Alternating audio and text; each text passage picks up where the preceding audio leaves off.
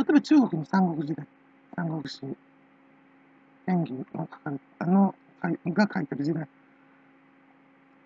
なんかドイツっぽいでしょあれ、日本の戦国時代。なぜか同じ民族のああいうことをしらかして。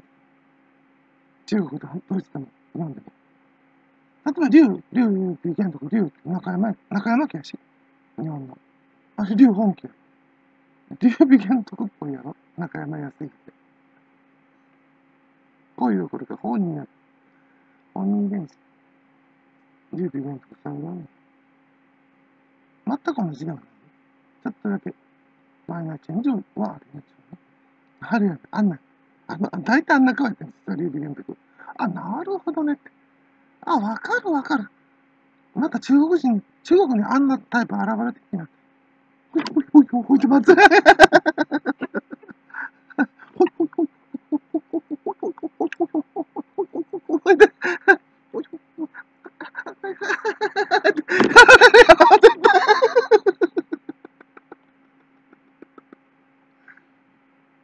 てな感じで、ドイツで起きたことと、えー、中国の三国時代で起きたことと、日本の戦国時代で起きたことの同一性については、峰不二子。